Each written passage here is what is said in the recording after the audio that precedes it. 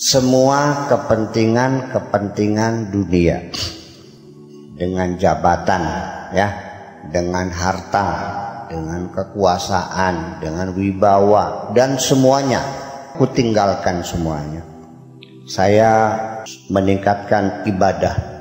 Bukan hanya ibadah yang rutin tapi juga melipat gandakan ibadah. Tambah sholat ibadah ibadah malah alam semesta eh dulu jalannya jangan terlalu cepat. Volumenya dikendorin gitu. Ya speedometernya jangan terlalu 200 km per jam. Logikanya apa sih? Kalau kita berkendara dengan kecepatan 200-300 km per jam melaju di jalan kadang-kadang dengan kerikil kecil saja ban kita menginjak bisa pecah ban tuh ketika kita 60 km kerikil kecilnya gak apa-apa. Tapi ketika kecepatan tinggi kerikil kecil bisa membuat ban itu pecah.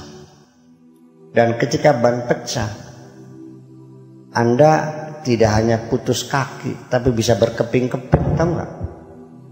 Yang sedang-sedang sajalah gitu maksudnya hidup ini begitu kan alon-alon asal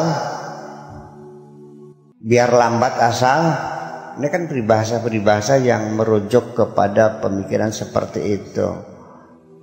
Ya jadi maksud saya semua itu semuanya adalah semua peristiwa, kejadian, apa pun semuanya terikat dengan dimensi waktu.